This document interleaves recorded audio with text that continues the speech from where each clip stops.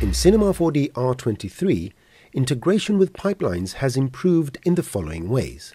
First and foremost, Python has been updated to version 3.7.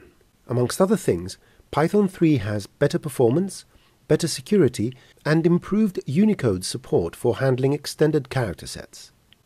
The OBJ import and export command has been greatly improved, offering much better performance, better support for PBR materials, vertex colors, and support for file sequences. FBX now offers the option to export the baked animation of bind joints and to export marker ranges as takes. Finally, the first steps towards fully integrating the industry standard exchange format USD have been taken. With Cinema 4D Release 23, you now have tighter workflow harmony in your pipeline.